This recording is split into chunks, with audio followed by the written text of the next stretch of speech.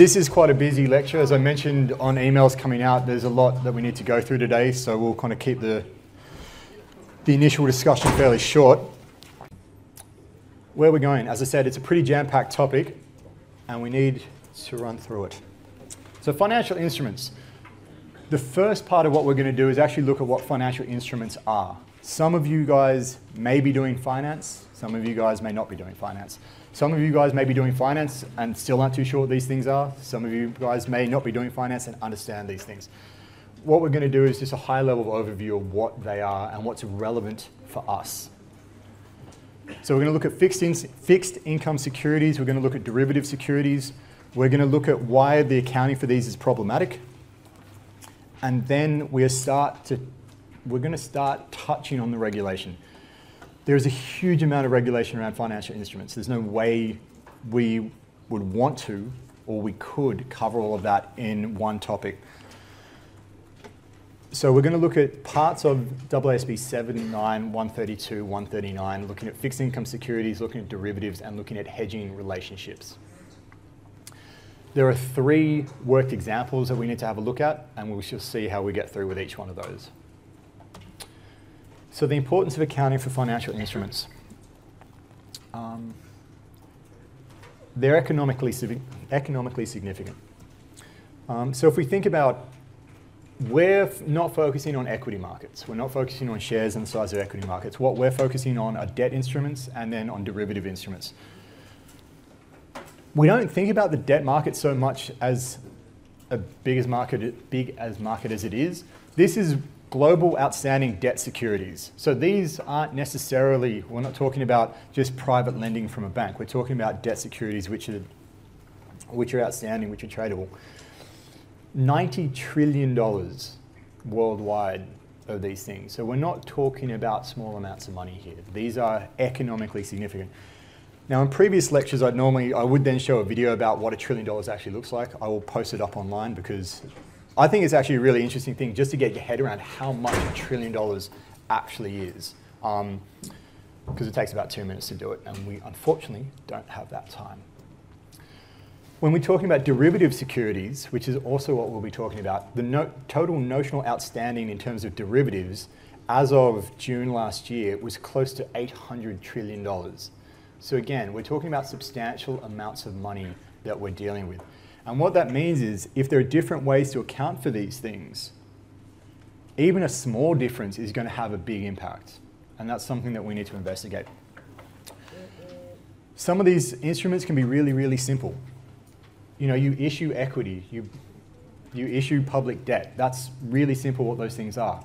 But then they move, you know, and some of you guys may well end up doing these sort of things, creating really complex, really convoluted now, whether or not they're even fit for purpose, financial instruments, um, hybrid instruments, derivative securities, all these various exotic things which are available and out there, these are things which need to be accounted for in some way, and it's not necessarily straightforward how you do it. The same instrument could also be used for different purposes. And when we get to a couple of slides' time, we'll talk about one of those examples where that could be. Um, so if they're used for different purposes, the accounting may be different. Now this is simplifying. Well, these are the these are definitions from um, the ASX, and I'm going to give a really simplified example because it's what is critical with today. What is going to be useful for next week um, is just being comfortable with the thing that we're actually talking about. Because if you understand the thing, the economics of it, the actual accounting for it becomes, okay, I won't say straightforward, but it becomes a lot easier to deal with. So when we're talking about bonds, it's a tradable debt security usually issued by a government or semi-government body to raise money. Holders of the bond have lent money for which they receive a fixed rate of interest over a set period of time. The bond is repaid with interest on the predetermined maturity date. I need a pen.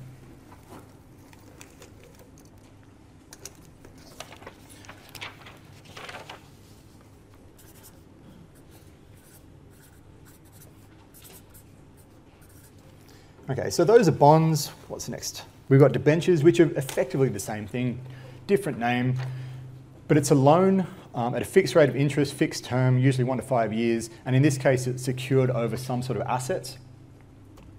And an unsecured note is a loan by the company, fixed rate of interest, fixed, per fixed period of time, but it's not secured over something, so it's generally the interest is going to be higher. But the idea is still the same. In each of these things, whether it be bonds, debentures, unsecured notes, you have the, the issuer has borrowed money from somebody. Now, we're going to use this example coming through um, for a few moments. But we'll come across as we go through the example what's called the face of the note or the face of the bond. And so in this case, can, Valentine, can you read that? No? Okay. What it says is three years, $1 million. What this means is whoever I sell this to, or whoever happens to hold it, that's why they're called holders of it, I'll just borrow you for a second. You're holding that. He is the holder of that particular note or that particular instrument. That means in three years' time, I'm the person that issued it. In three years' time, I will give you $1 million. Now, I'm not that good a bloke that I'm just going to give him that so that in three years' time I'm going to give him a million dollars. I will issue it to you and you will give me money now. So, question to you guys. I know you've had a break for a couple of weeks, well, a week and a half or so that I'm going to give him, because he's bought it off me, a million dollars in three years' time. Would he pay me a million dollars for that now?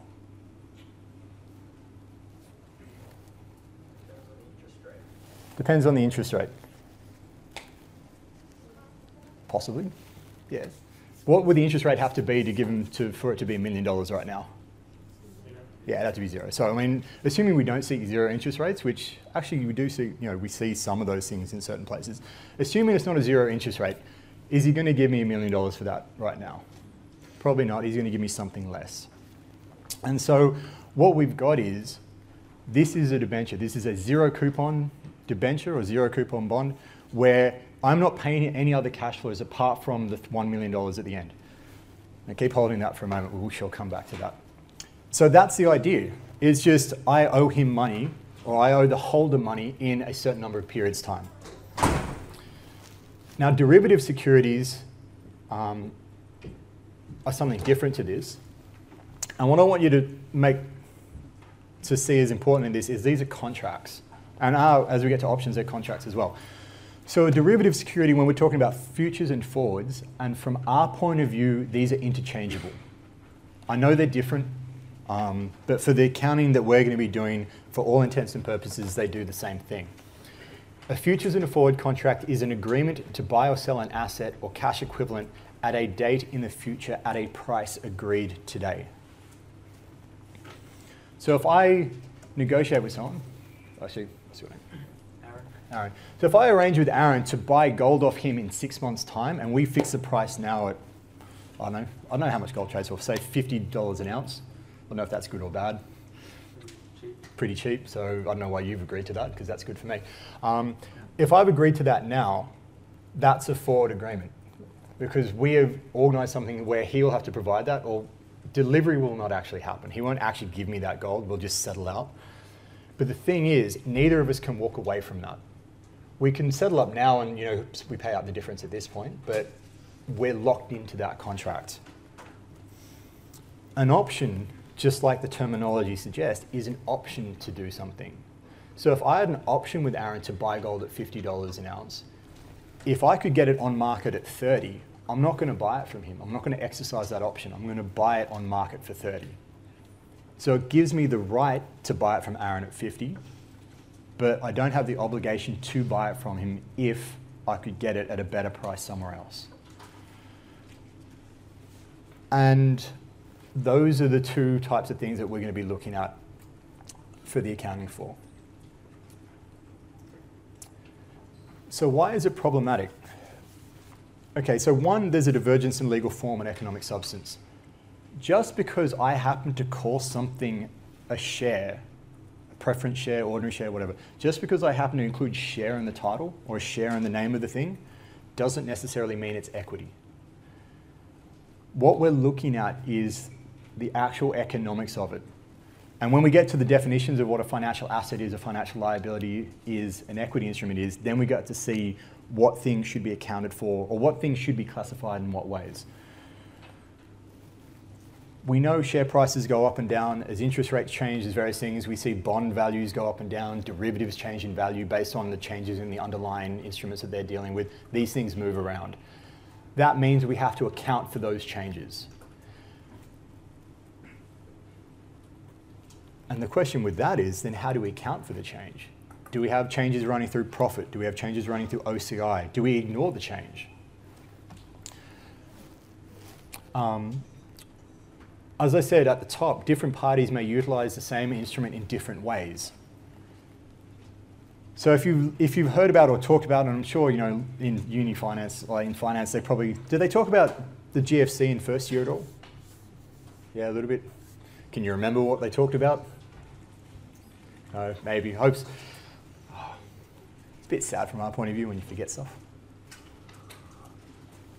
Okay, I mean, there's lots of arguments as to what caused the GFC and how it got so bad. Accounting is actually identified as a problem with the GFC. The fact that we use fair value or mark to market accounting arguably made things worse, if you, if you choose to believe that. But when they issue mortgages, and this is sort of the precursor of what happened with this. So banks could issue mortgages and they have an asset on their books. I've issued loans to all of you guys. I collect cash flows on a fortnightly or a monthly basis for the next 25 years. Now that's kind of good. You know, I've got an asset there, assuming you guys will actually pay up, there'll be money coming in. But I've got to wait 25 years for all of that to be realized. And some of these banks went, well, we actually want kind of our cash now. So all these loans I made to you guys, they would package them up and sell them off as an instrument to somewhere else. Same underlying thing which has happened, but some people may be looking to just sit and collect those cash flows. Some people may be looking to trade those cash flows. And that would argue a slightly different way to account for things. So again, it starts to become quite complex what we do. For this, this is an entree into financial instruments, so we're going to keep it relatively light with some of the details here. I say relatively because it's still a fair bit we need to go through. And if this doesn't give you an indication that there's a whole bunch of stuff going on, I don't know what will. Four standards deals with financial instruments. Seven on disclosures, nine on just general, 132 on presentation and 139 on recognition and measurement. Now the reason there are so many is because this one ultimately, this is one of the new ones, and nine is going to ultimately kind of deal with all the issues around financial instruments. It's a slow process and they're slowly pulling things into it. So just recently, hedging got moved into nine. Um, we're still going to deal with where hedging used to be, but these things are slowly changing. Okay, I'll preface this. We are not expecting you to read all four of those standards cover to cover. Um, it would take you forever and a day to do that, and it's still, I don't understand some of the, some of the very detailed intricacies of what goes on in there, so it's difficult to go through all of it. But let's get, let's get back to some of the main detail that we need to be covering. So a financial instrument, this is the basis of what we're doing today. A financial instrument is any contract, so it's a contractual relationship, that gives rise to an asset or financial asset on one side and a liability or, equi or equity instrument um, of another entity. So we've got an asset and then a liability or, or equity on the other side. So a financial asset sounds all really high powered, and when we break it down, it's actually not too difficult to discern. Cash is a financial asset.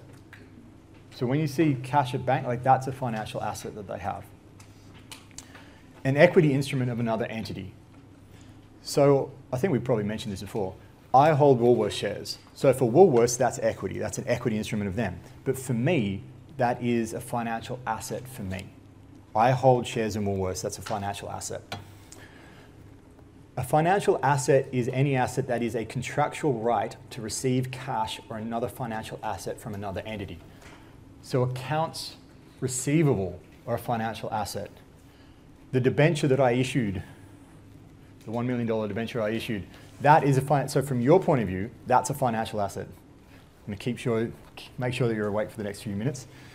So, I know you weren't on your phone, that was your calculator, so that's all right. Um, this is where it starts to get a little bit, little bit tricky.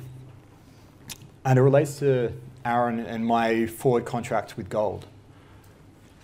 A contractual right to exchange financial assets or financial liabilities with another entity under conditions that are potentially favourable to the entity. So if I've got a forward arrangement with Aaron to receive gold, one of us is going to be in the better position as time goes on because gold prices will move and you may be up or I may be up. That is a contractual relationship, and whoever is up, they will be the one with a financial asset in relation to this forward because they're the one who will receive money from the other person.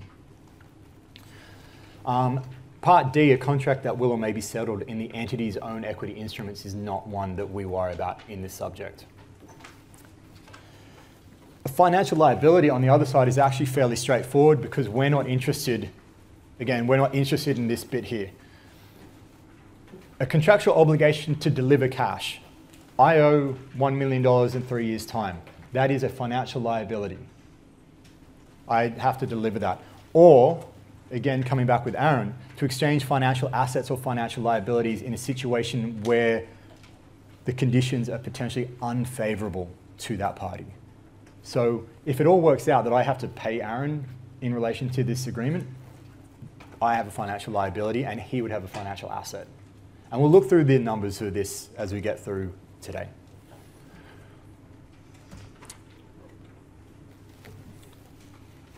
The last one we want to have a look at is an equity instrument. Now, an equity instrument is any contract that evidences a residual interest in the assets of an entity after deducting all of its liabilities. Now, I hope you notice something from this. That with the other definitions, it was all, you know, contractual right to do this, or it is cash, or it's something else. This, an equity instrument, is not defined in those ways. An equity instrument is defined in relation to other things. An equity instrument is defined in relation to assets and liabilities. I'm going to go out on a limb here. Does this, does anything sort of, does this seem to link to anything that you may have done, say first year accounting? One of the sort of bedrocks of what accounting is about. If you had John Tyler, you got you drawing, writing it up in the mirror in the bathroom. What are the three elements that we have up there?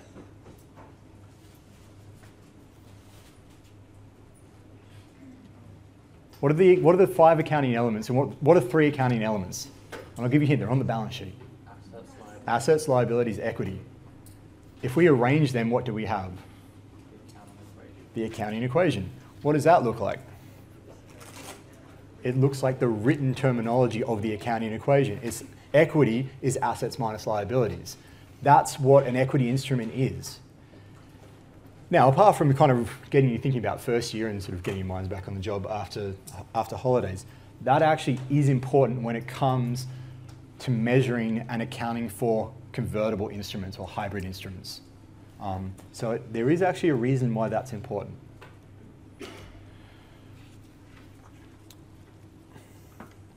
Okay. So we've issued something. Something's happened. And the issuer has to classify it as a particular thing. We do it on initial recognition as a financial liability, a financial asset, or an equity instrument in accordance, bless you, in accordance with the substance of the contractual arrangement. Doesn't matter if I call it preferred, preferred shares.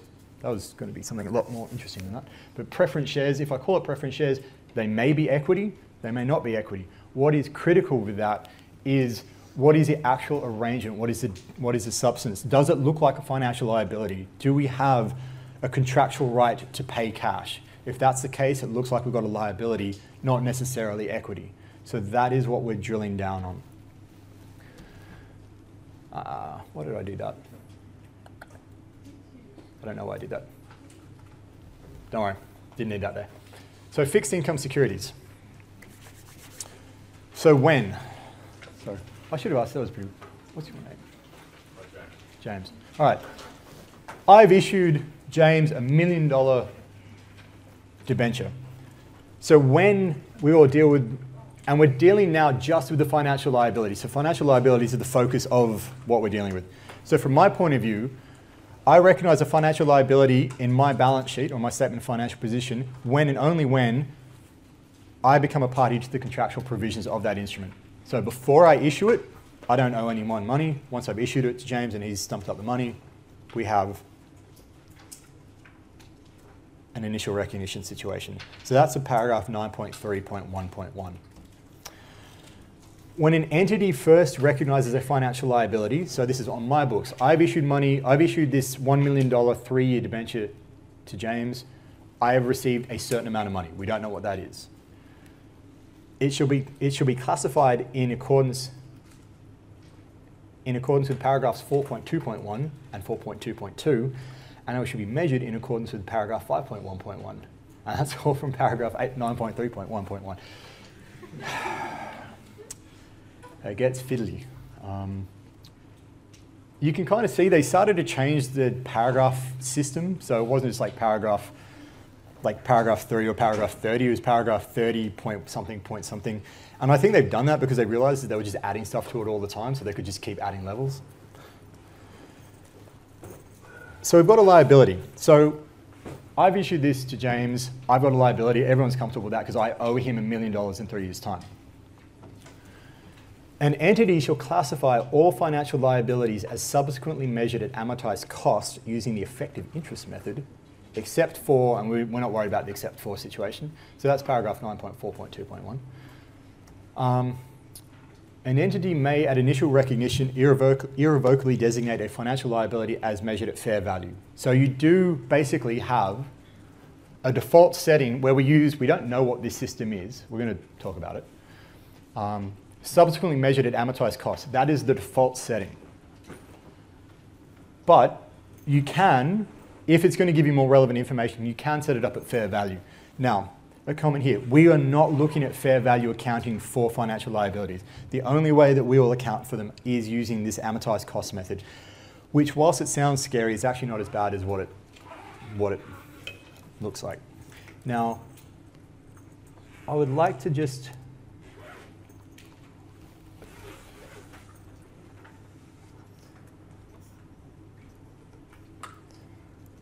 T1, T2, T3. Okay. I've issued James, and this is for you guys to put your thinking caps on here. I've issued James this bond. He has paid me a certain amount of money. We'll come up with a number in a second. That is a face value of a million dollars.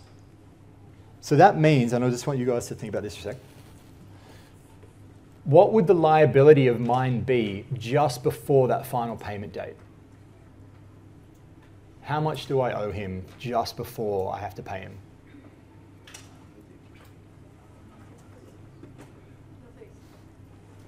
No, just before I pay him. After I pay him, then I don't owe him anything, but just before I pay him. And it's a face of a million. It's not a trick question. It's a million. The liability just before I pay him, I owe him a million dollars. That's what's on the face. Now, assuming zero rates aren't, assuming interest rates aren't zero, I'm going to, he's going to pay me something less than $1 million to get hold of that future cash flow. How much, we don't know because we don't know the rate. But let's just say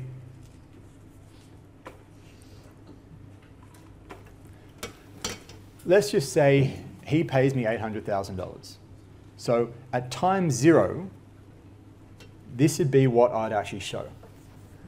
I would debit cash because he's giving me cash of 800,000 and I'd credit a financial liability of 800,000.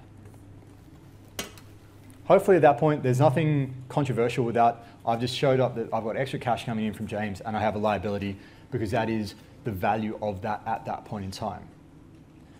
But this is where the question then goes.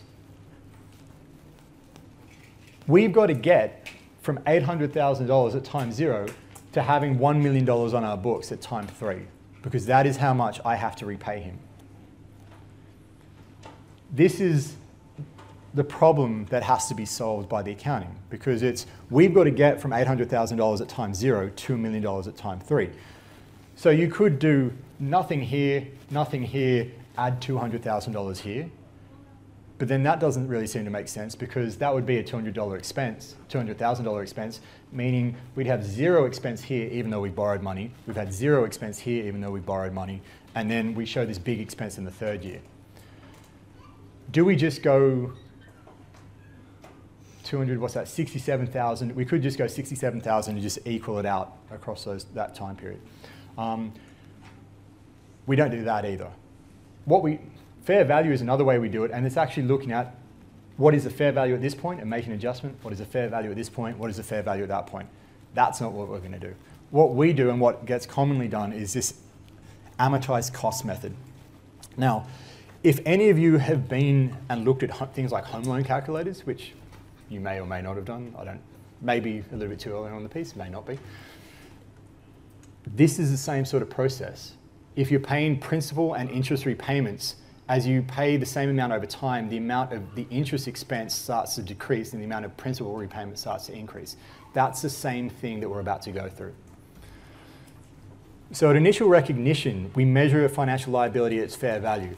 Now, for, for a straight debt instrument, that's pretty easy for us because that will just be the amount of money that, in this case, James would pay to get access to that.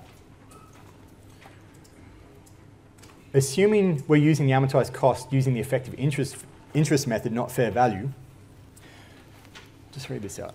The amortized cost of a financial liability is the amount at which the financial liability is measured at initial recognition. So we're thinking that 800 with James, minus principal repayments. So again, thinking home loans, it kind of comes in there. Plus or minus accumulated, cumulative amortization using the effective interest method of any difference between that initial amount and the maturity amount. So what that effective interest method is basically doing, I'll come back to it, is getting it from here up to the million and picking up using a rate that will get us there relatively smoothly. And we're going to see this in action because it makes a lot more sense with numbers involved. Now, they actually define and go through in detail what the effective interest method is in paragraph 9. I didn't show it up on the slide because if you thought that was too much text, this would take up the entire screen, if not more so. So I would urge you to go and have a look at it, but what we're about to do is actually deals with that situation. so if you turn to the first example, if I can get this working. There we go. Hmm.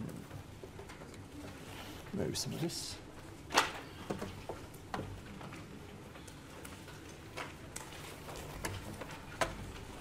Get rid of that.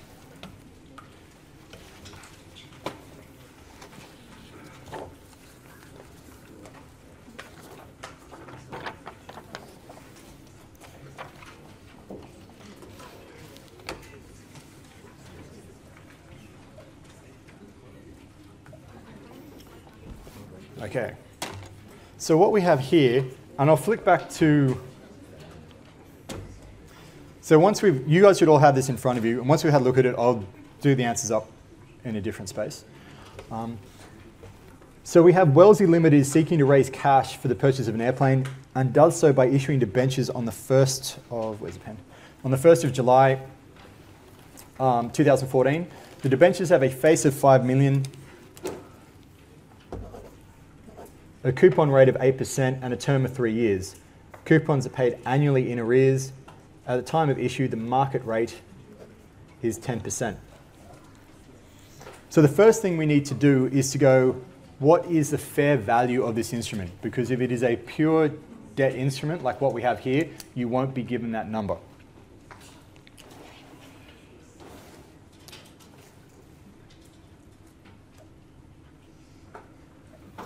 Okay.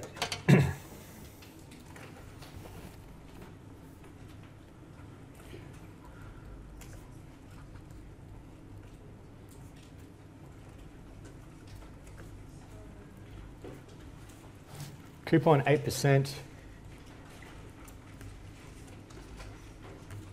Uh, what else is the market?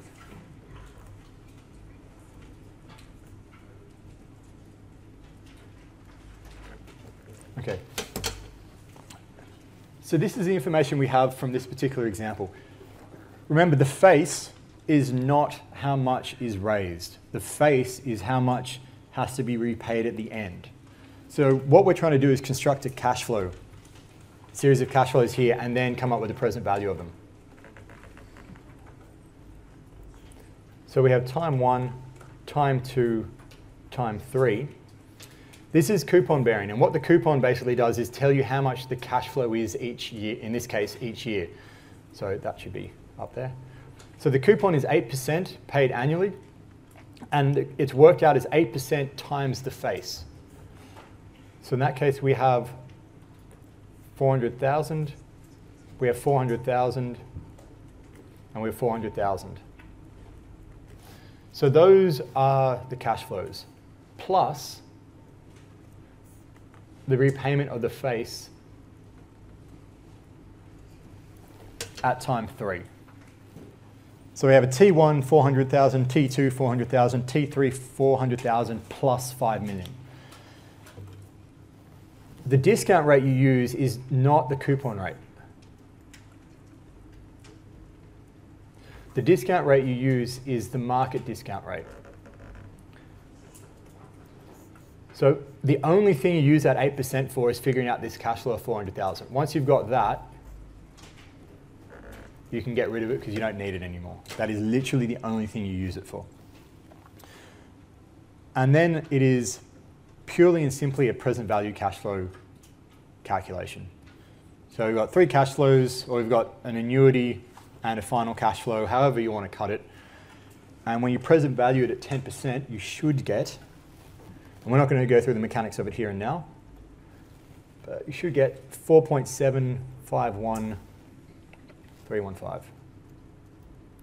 And this is the fair value of the instrument. Okay. That gives you the debit, cash, credit debentures that you start with. The next step, and you've got it sitting there as the liability amortization schedule, and we'll work through, I'll work through the first line of it so everyone's comfortable with what we're seeing. Um, and then it is just repeats itself. So for year one, we have an opening, and we simply put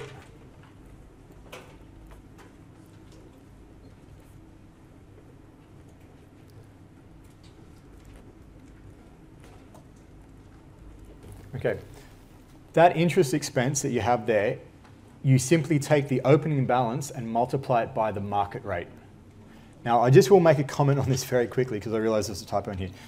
I did update, I have updated the examples as of today, so if you get the, if you get the example as of this afternoon, it will be right. But I've got, I've transposed the five and the one. So it should be 4.751 million. You may have 4.715 million. That's incorrect, but that was me stuffing up. But the interest component for that first year, okay. That's, that stage door can't come in there.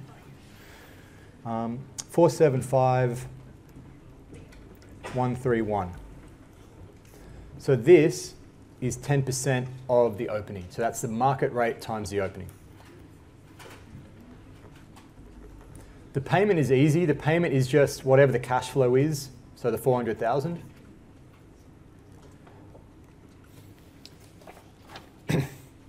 you don't really need the change column. I mean, you can put it in if you want, but it's not crucial. The change column is just the difference between the interest and the payment columns. So in this case, 75131. And what you end up with is a closing. Now, you may not be too sure about whether you should add or you, or you should subtract this. One thing which will tell you what you need to do really simply, and so it's actually better to know what overall what you meant to do rather than to try to remember some absolute rule, is at the end of it, after three years, we have to get to 5 million. So we start with 4.71, we've got to end with 5. That's the problem that we had. So like with James, we started at 800, we ended up at a million. We've got to be adding in his case. And in this case, we're going from 4.75 to 5, we're adding that difference. Now, if any of you guys have got credit cards, you'll know exactly why this is. Think about what's happening here. Say you've made no, say you've maxed out your card and you can't make any new purchases on it, but you're only making the minimum payment or you're not even covering, you're definitely not covering interest. You're incurring $475,000 of interest expense each year. but you're only paying off 400,000, you are going to be adding to your balance. That's that from just a realistic perspective, that's what we're seeing. You're paying 400 grand, you're incurring more interest than that, your balance is just going to go up. You can see the reverse situation where you're actually paying more than your interest expense and your balance will be going down. So it works both ways. In this case, we're going up, so we're adding it, and we end up with 4826 point, not point. And that comes down into the second year.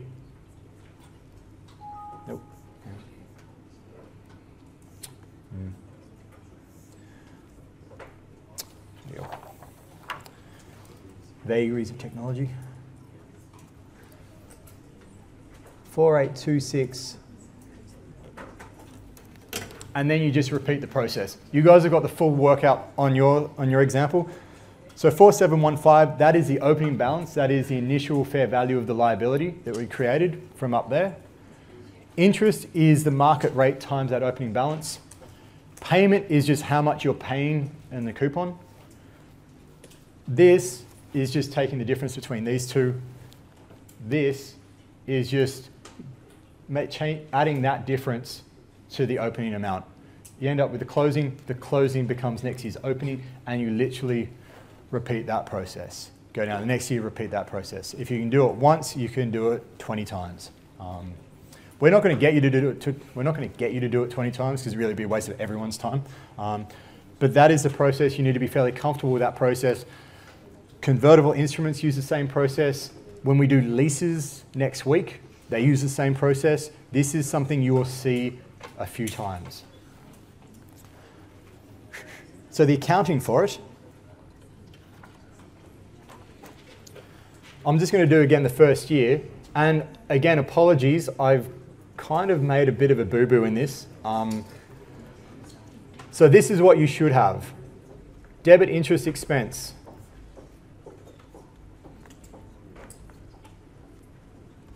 This is picking up, where is it? That's picking up this column. So whatever's in this column for the particular year that you're looking at, literally just debit expense. Credit cash. If there's anything you should get from this, you should be able to get credit cash because there is literally $400,000 of cash going out of the business. So cash is the next column. So that payment column, whatever is in that payment column, that goes into credit cash.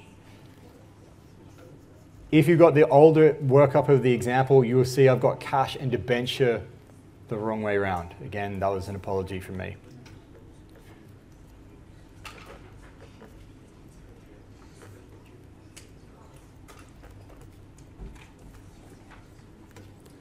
And credit debenture, you are adding to the liability.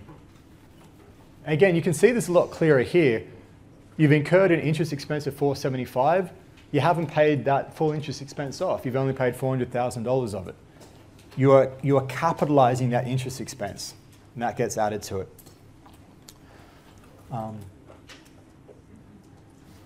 when we come down right to the end, and you repeat that for all the years you need to, when you come right to the end,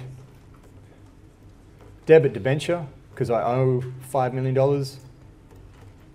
I pay it off, so the liability comes down. Credit cash, 5 million. And everything's squared away. Um, it is a process. Get the, get the fair value up front and everything just rolls out pretty neatly.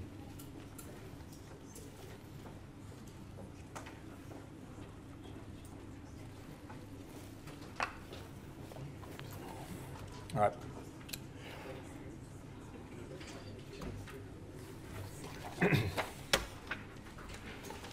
Okay, so the next thing we're going to have a look at now.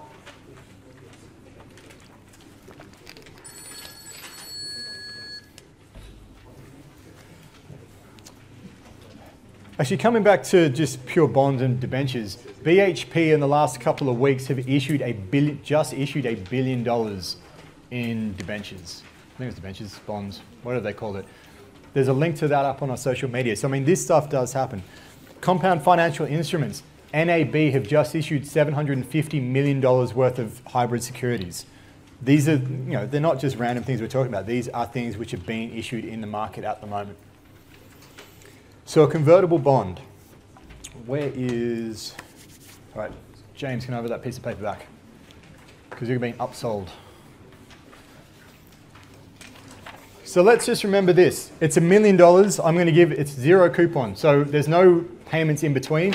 It's just literally, I will give James a million dollars, or whoever holds this, a million dollars at time three. But then because I'm feeling generous or I want to raise more money,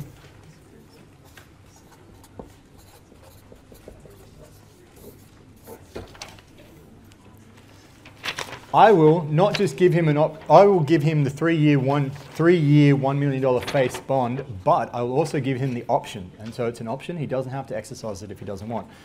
I give you a conversion option attached to that, which allows him, if he wants, not to receive a million dollars in three years' time. He could choose to elect to receive shares in my business. Now, we don't know what my business is, maybe a really terrible business, so he may not want those shares, but that's all right because it's an option for him. Question for everyone else. The straight debt instrument, he would pay me $800,000 for that. Let's, for argument's sake, say it is. Do you think with that attached, he's going to pay more or less than 800,000? He's going to pay more? Yep. Anyone agree with that? Yep. Makes sense. If you get something additional, you pay more for it. If you buy a car or buy a car with sat nav, I think those aren't standard yet. Um, you'll pay more, slightly more for that. Um, the question that we have here now is, so that's what a convertible bond is, a bond convertible by the holder into a fixed number of ordinary shares. It has two bits to it. It has the $1 million face, it has, a it has a bond instrument, the contractual arrangement to deliver cash, and it has a call option sitting over the top, which is an equity instrument. So let's just, for argument's sake, say he would pay $850,000. I'm going to debit cash 850,000. Should I credit liability 850,000?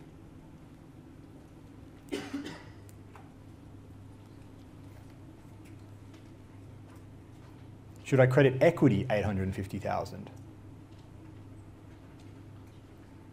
Should I stay really quiet and just see what he'll say? Let's, let's run with that. When something like this is issued for a non-derivative financial instrument, you evaluate the terms of it, and in this case, if it contains both a liability and an equity component, we record these things separately. So what we have is, I will record the fact that there is a financial liability, but I'll also record the fact that part of that 850,000 relates to an equity instrument. Then the question is, how much of that 850 should be a liability, how much should be equity? I thought I put in extra, oh, I know what I did. Okay. So with this one, we'll look to top example two. And we don't have to go through the entire example, which is really nice, because there's only it actually pretty much works the same as what we just did with a slight with a slight twist at the front. okay, I'm going to work mostly off this. Okay, so in this case, it's the same, same essential things which have gone on. Raising money, the bonds have a face value of a million, same face value. Coupon rate of 8%, same coupon rate. Term of three years, that's the same. Annual in arrears, that's the same. The market rate is 10%, that's the same. The only additional information that we really have is, is they have a conversion option and the issue price. So we have the same information as before, plus a conversion option, plus an issue price. Because for this sort of question, you need to be told how much money was raised. You can't work it out independently in this case. So we will tell you they raised X amount of money. And in this case, because they were issued at face, the face is 5 million, And how much was raised is also 5 million. Which is good because when we come to the debit cash bit down here, that's 5 million. The question that we have is we know we have a liability, we know we have equity, is how to split that up. And how we split that up is just to look at the fair value of the li financial liability. And the fair value of the financial liability is the cash flows for that financial liability discounted at the market rate. And which we've already done that because it's the same set of cash flows. The financial liabilities, or the fair value of the financial liability, is a 4715, 4751, 315. So that is the liability component. That's what we credit to liability down here. That means we have a residual amount. That is what equity, that is what an equity instrument is defined as. It's that residual amount. Um, we don't actually independently measure the value of that equity. We just go, we know you know, if you're going out to buy a car and it's like, if it's $30,000 without sat nav and it's $31,000 with sat nav, that's a very expensive sat nav. Um, that's the idea. You can tell that it's $1,000 because of the difference between the two. With James's example, $800,000 for the liability, 850 with the, with, the, with the equity or the conversion option. The conversion option in his case was 50. And in this case, they've paid a million. They would have paid 400, four, sorry, 5 million they would have paid 4.75 just for the liability. So they're willing to pay close to a quarter of a million dollars to get this option to get equity in the business. That's how we've come up with that number. And then once you've come up with that number, you can actually pretty much ignore it for most of the rest of what we have to do. This is the same. This is the same. This is the same.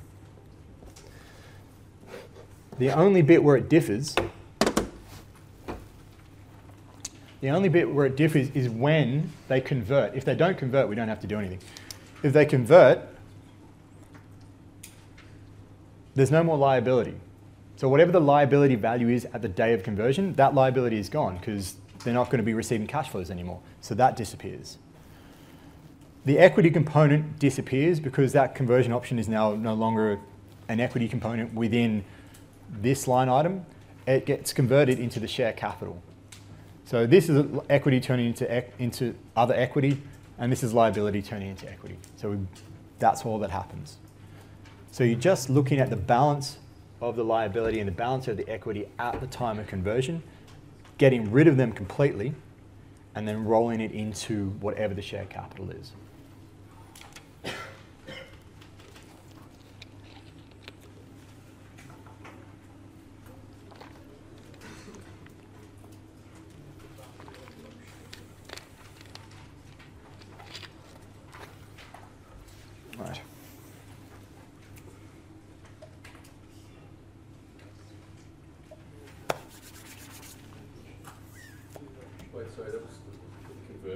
Yep. Um, that's from the perspective of the issuer.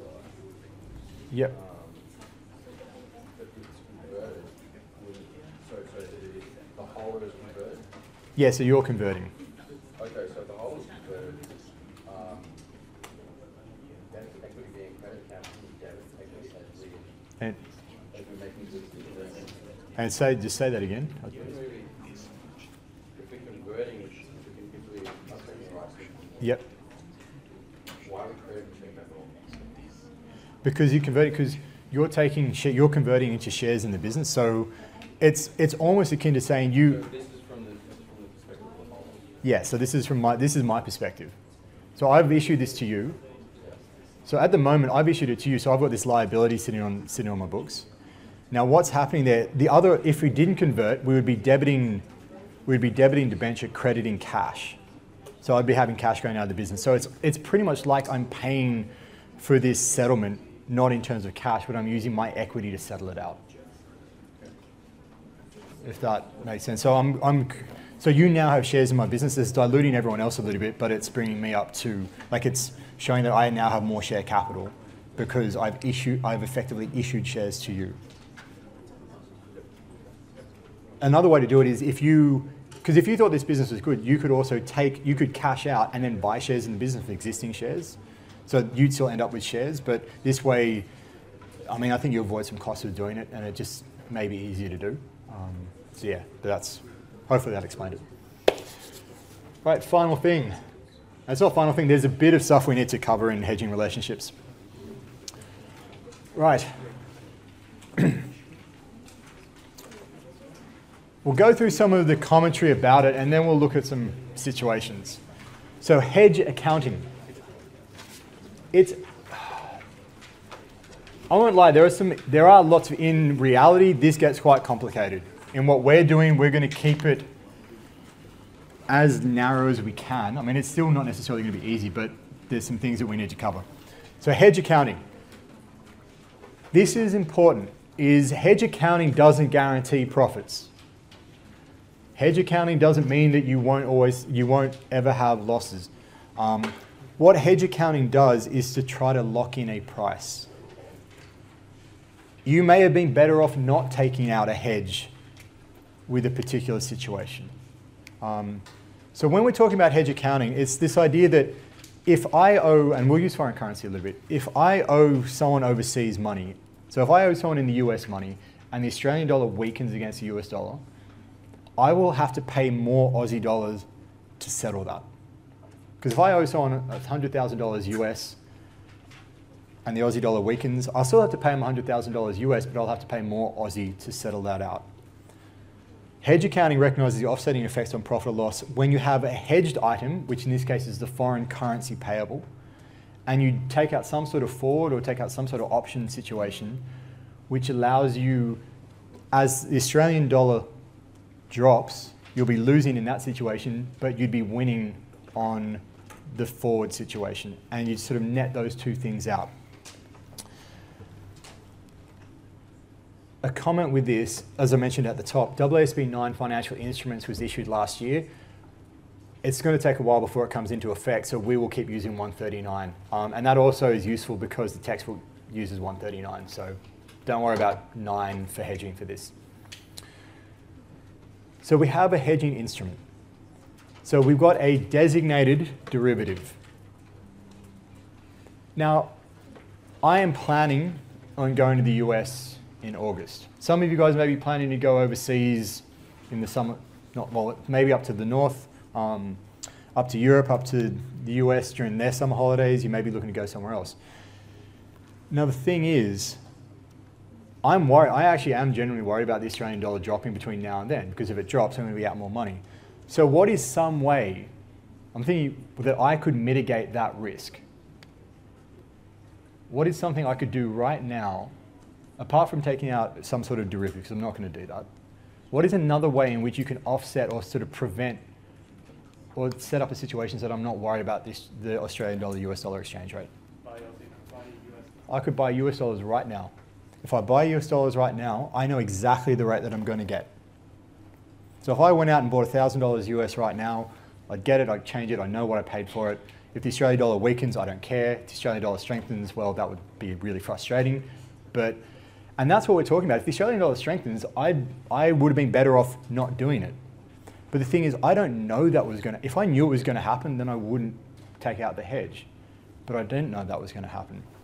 Um, for example, Qantas is actually fuel prices and airline and aircraft fuel prices have dropped and dropped substantially. Qantas didn't hedge a lot of their fuel exposure, so they've actually been able to make a lot of money on that because they've been able to buy fuel at a lower price. Virgin, on the other hand, fully hedged their exposure, and I'll put up a, a link to this, which means as the fuel price went down, they did well there, but their hedged position lost money. So they actually didn't really do any good out of it at all. So a designated derivative, so we're dealing with a hedged instrument because to actually buy the US currency right now, I need to have all the Aussie on me to buy it, which that means it's locked up for the next few months and I don't necessarily want that. So the designated derivative, and that's fair value of the cash flows of it, are expected to offset changes in the fair value of cash flows of a designated hedged item. The hedged item is an asset liability firm commitment or highly probable forecast transaction or net investment in a foreign operation that exposes the entity to risks in changes in fair value or future cash flows and is designated as being hedged. so examples of this. Foreign currency receivable. Somebody is going to pay you and they're basing on, and it's based in a foreign currency. Liability, foreign currency liability, foreign currency payable. You owe foreign currency. There is a risk there because if foreign exchange rates move, you'll have an issue. We'll talk about the other two in a second. A firm commitment. My trip to the US is not a firm commitment. I could walk, I haven't booked anything, I haven't done anything, I haven't paid for anything, I haven't done anything at all. I could walk away from it. A firm commitment is a binding agreement, so it is locked in, it is going to happen. A forecast transaction is an uncommitted but anticipated future transaction. That is my US trip. I'm anticipating going, but I'm not locked into going. And that does have an effect as we look down as what we're about to do. okay. Partly what, uh, okay.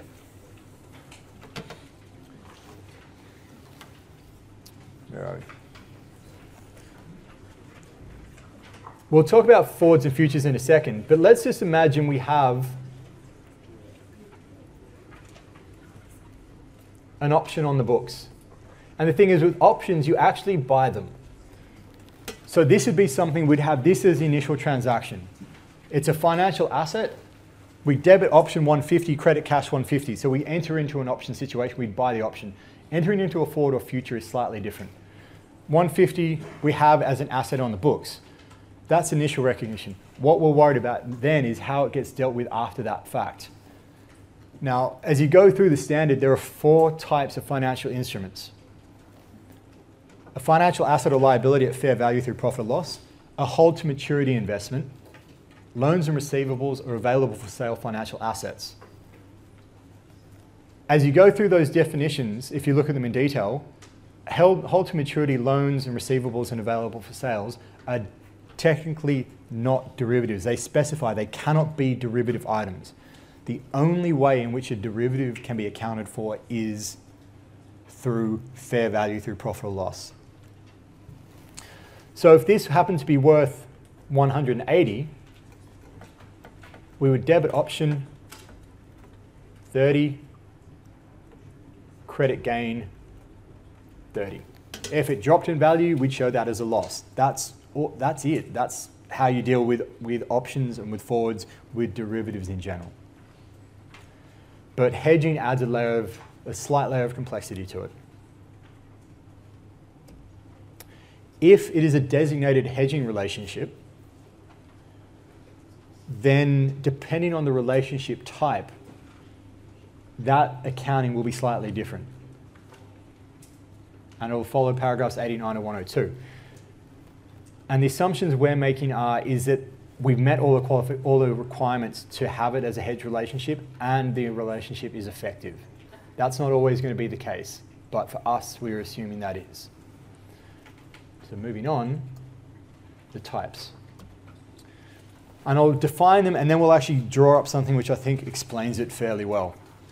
So the definitions for a fair value hedge is a hedge of the exposure to changes in the value of a recognized asset or liability. So that's for us the key thing. You have a recognized asset or liability. When we talk about recognized as opposed to disclosed, where does recognized thing, where do they end up? On the balance sheet. We are looking for something on the balance sheet. If it is not on the balance sheet, this becomes critical. If it's not on the balance sheet, for us, it is not dealing with a fair value hedge. For a cash flow hedge, it's not about being on the balance sheet. For us, again, there's, there's more details about it. A hedge of the exposure to variability in cash flows attributable to a particular risk associated, or, and this is for us, or it's a highly probable forecast transaction. So it is something which hasn't happened yet. But the thing is, I'm worried about when I go to the US I'm worried about Australian, the foreign currency rates changing. I have, there's been no transactions yet, but I could still take out a position now to offset any, any effects down the line. There's nothing recognized on my books at this point.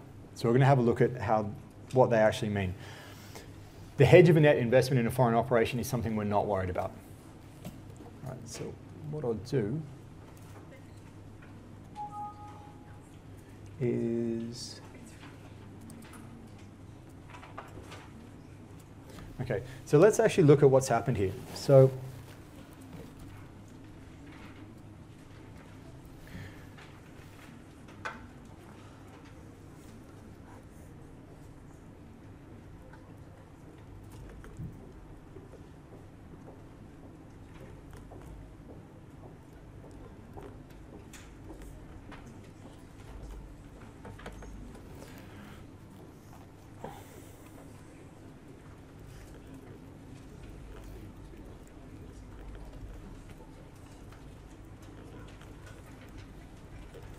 Okay, we've got three points in time.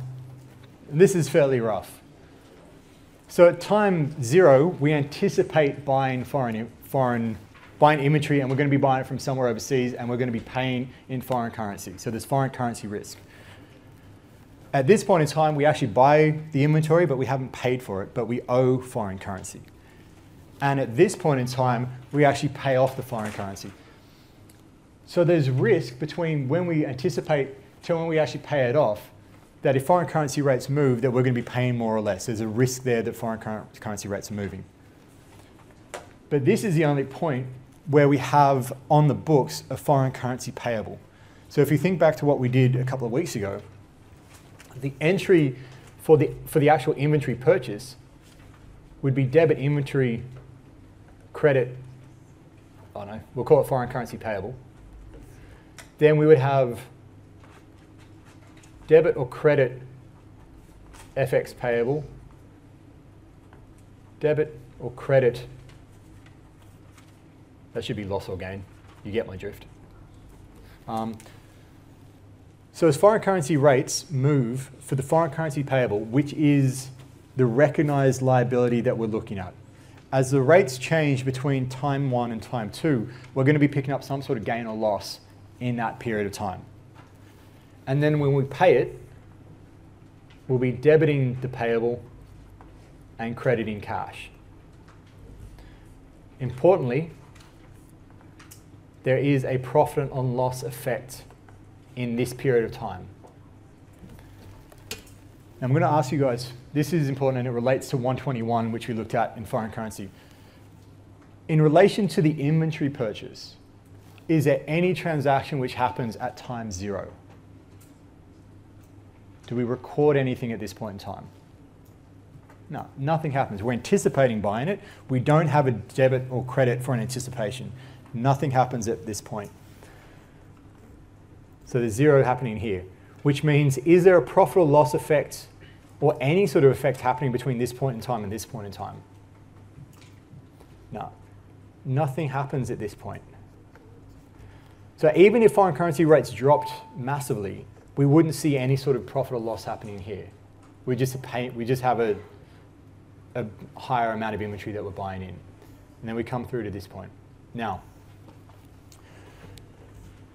this period of time, if we take out a hedge here, or we take out some sort of position at this point in time, this will change in value as we move into this point. This point in time here is the cash flow hedge. Because there is an anticipated future transaction. We do not have a recognized asset or liability on our books at this point. The recognized asset or liability happens at time one. So before the transaction takes place, from the underlying perspective, we have a cash flow hedge.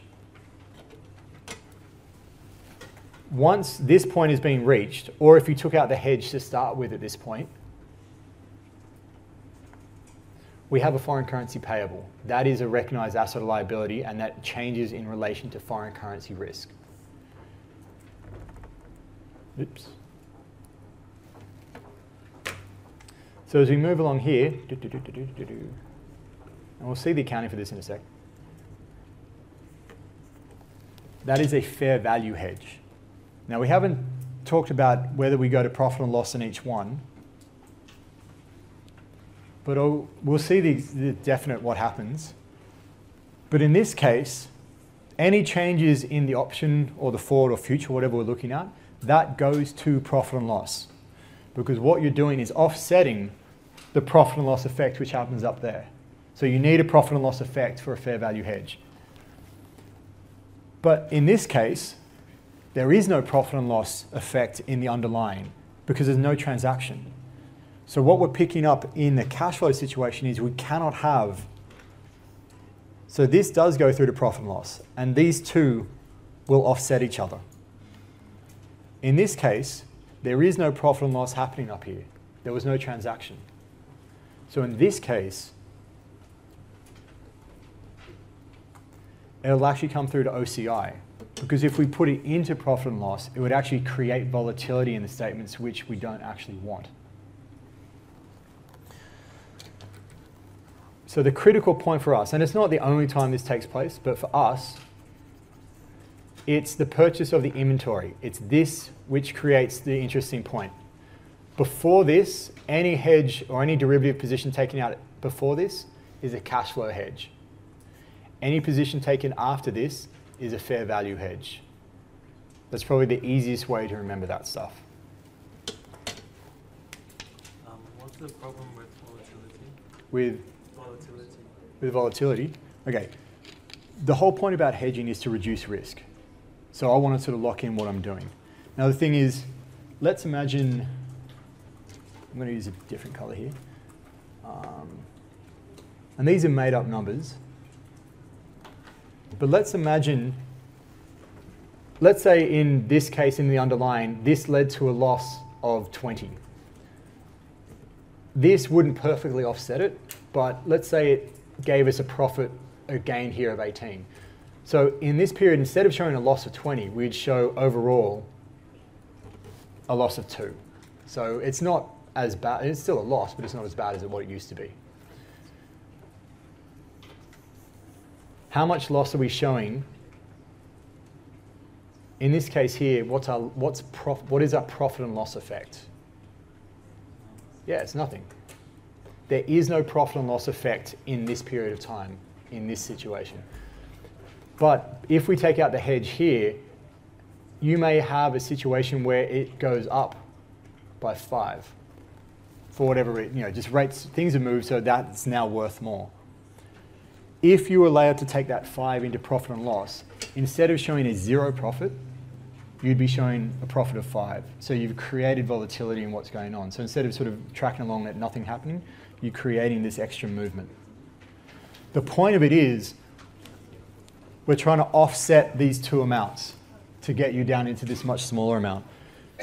There's nothing happening up the top there, and if we create this profit and loss effect, we're suddenly, instead of having very little happening, we're having quite big movements taking place. And that's why you can't take it through profit and loss. That's why that $5 in this case would go through OCI to sort of smooth it out. Um, and so fair value hedges, that just tells you that you take it into profit or loss. With cash flow hedges, it takes it into other comprehensive income. So that just codifies what I was talking about. James. Um, that's just talk, just about forwards. What's that? That's talk just about forwards, right? It's not talking about, um, Forwards, yeah, forwards, futures, options. so it's in the case of saying an option, Guys, can we just bring it down a little bit? in the case of an option, it would be at the point at which you, not an exercise. but No, we're not talking about exercise. We're talking Exercise, you change, you change again. at exercise, and then once you exercise it, then you just, we're not talking about exercising. We're talking about just holding it, and as it changes, it just, So we're talking about the time period that holding it? yeah, we're talking about. Holding period that we buy it. We're talking about when we buy it and as we hold it. So if we were to buy an option, we bring it on at say 150, and then as it changes in value over the time that we hold it, we're picking up those changes in value. Because options do change in value as you move along, and that's that's a, if it is a cash flow hedge, it goes through OCI. This is one where it does take a little bit to get your head around. Now, we're not going to be able to do the full example, and I will put a video together for it because I think it will be apps. This is a topic I was worried about because, as I said, this would normally be a two-hour long topic, and we, you know, there is a lot of content in it, so there will be something additional. But I won't talk about this right now. What I want to focus on is something in the example. So if you flip to example three,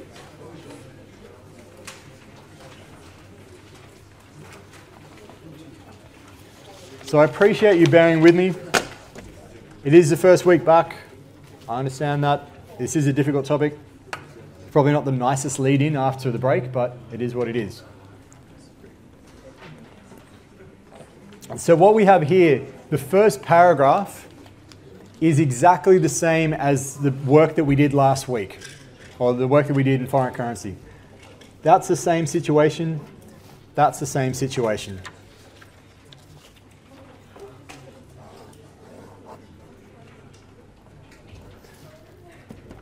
The left-hand side is lecture seven from last from before the break.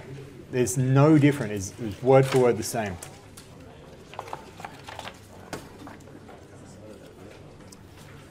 Now with this, we're not going to go through the whole thing, but I do want to point out some important aspects of it.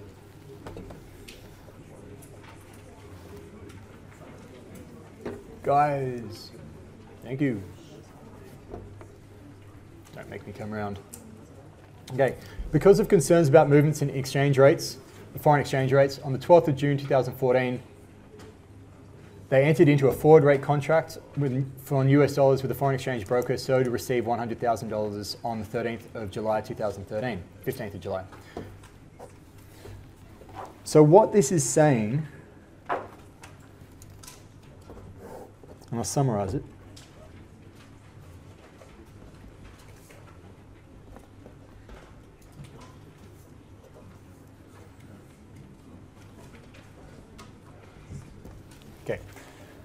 We're not even looking at whether or not this is a forward or whether what we're doing with it is a fair value or a cash flow hedge. What we're worried about is actually coming up with a value or the forward or the future. So on the 12th of June 20, uh, 2013, we have a contract taken out. And that contract is for delivery in a couple of months' time or a month's time of US dollars. So what we have here is actually a financial asset which is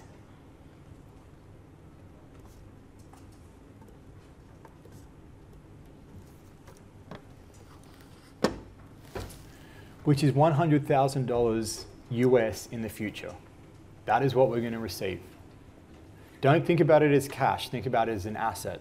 We're going to receive something in the future. And we have a financial liability because we have to pay, this is just from the question information,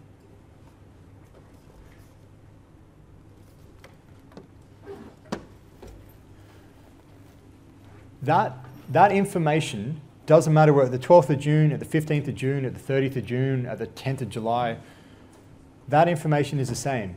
At the 15th of July, we have a financial asset of receiving $100,000 US, and we will pay $107,320. Now, there's a couple of things which are important with this. One, if we're an Australian company, can we show US dollars on our balance sheet? No, which means we need to convert that into its value in Australian dollars, which at the 12th of June is using the forward rate for that delivery. So we're at this point, this is what it's valued at, and that will give you 107,320. That payment is 107,320. This is happening like a month away. Time value of money is not relevant here. That gives you a net amount of zero. Now, the thing is, what we've just done then,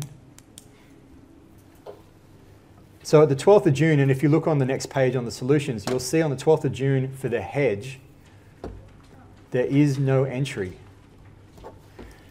And there's no entry because what we're allowed to do in this particular situation is set off the amount. And what setting off means is we're netting it out. So imagine use, because I know names, Vincent. Okay, who's sitting next to you? Patrick? Patrick. Vincent, Patrick, are you guys friends? Oh, yeah. So, are you friendly enough that you would lend each other money? Have you lent each other money before? No. Fine, that doesn't really work. Let's just assume you are friendly enough that you would be willing to lend each other money. So, Vincent, you lend Patrick $30. Patrick, you lend Vincent $50. No, you don't have to do it right. I thought you were pulling you. You don't do it right now. Forget which way. So $30, you've, you've lent someone $30. Vincent, you lent Patrick $30. Patrick's lent Vincent $50. When it came to settling all that out, do you think you'd actually pull out of your pocket $50 and then you pull out of your pocket $30 and you swap it both over? Or you just pay him 20 bucks? Probably the $20. That's probably the way it would work out. I'm assuming it would be the way it would work out. I'm assuming you're both good for it and you would actually pay each other. What you've just done then is net off the amounts because the counterparties are the same. So you would have an asset and a liability. So you would have an asset of $30, a financial asset of $30, and a financial liability of $50. You would have a financial asset of $50 and a financial liability of $30. But because they're with the same counterparty, you're allowed to set that off against each other. That's what we're doing up here. Because whoever we've got the forward agreement with, we have a financial asset from them and a financial liability with them. And because it's dealing with the same situation, and because it, the timing of it is the same, we're allowed to set those two amounts off. So instead of showing a financial asset of 107 and a financial liability of 107, it's with the same person, so we're just going zero. It all nets out. With the 16th of June, and I'm just going to do one the next period just to, to pick up a point that you'll see here. You're still going to be getting $100,000 US and you're still going to be paying 107,320 Australian. Bless you. So this is still 107. But the financial asset, you're still getting US dollars of the same amount, but the value of the US dollars has changed. Or it probably has changed because the rates have changed. 105, 105 550. So the value of the future US dollars is now 105, 550. So the asset that you have, and again, we're going from our point of view, from their point of view, it would be reversed. From our point of view, we have a financial asset of 105, 550. We have a financial liability of 107. This, for us, is an unfavorable situation. We're paying more to get this thing than it's worth. But because we can't walk away from it, we're stuck doing it. And so it's an unfavorable situation. It's a contractual, contractual situation. And that amount is. All right. You got an, an extra five on that? Do I have an extra five in there somewhere? Yeah. There we go. Thank you. Because I was going, that doesn't add up. So that is. So that nets out at 1820 and that would be a financial liability because you're in the unfavorable situation. And that links to the definition of a financial liability that we looked at right at the start. Now, what you would see there is you would have some sort of entry. And you would credit, we'll just call it financial liability 1820. Because it's a liability, the liability is going up, it's 1820. What we debit depends on the type of hedge relationship that it is. In this case, I know because this particular contract has been taken out before the purchase of the inventory, which means it would be a cash flow hedge relationship. And because it's a cash flow hedge relationship, it doesn't go into profit and loss, it goes into OCI. And so what you would see is debit OCI. God, I'm hoping this is what I've got on the next page disapprove. Okay, I've called it head. Okay, so I've taken it into what the account would be. Um, so we go into an OCI account, and what you see is the debit cash flow hedge reserve, so an OCI account, 1820, credit forward rate contract 1820, and that's the financial liability, that's the OCI account. Now, what happens here and it relates to one of the final slides that you got there, and then we'll, and I'll let you have a look at what happens after this on your own time.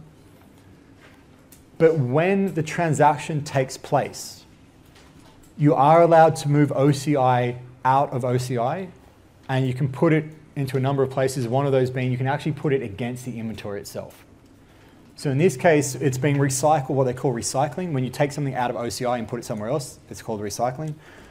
When you recycle this OCI out, we've got it rid of out of the hedge reserve. So the hedge reserve is now gone, and we put it against the inventory. Alternatively, you could have put it against profit and loss if you want. It's the same process. You're looking to come up with a value and then change that financial asset or financial liability. Have a look at what you need to do with it. Um, but as I said, I will try to put together a video for you. Um,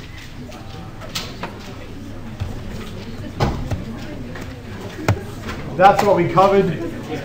Next week, I will be away for leases, so please turn up for Rob. He's a good bloke and he knows what he's talking about. For those in the 8 p.m. tutorial, I will see, 8, 7.30 tutorial, I will see you up there with your exams in a few moments. Otherwise, all the best for the weekend.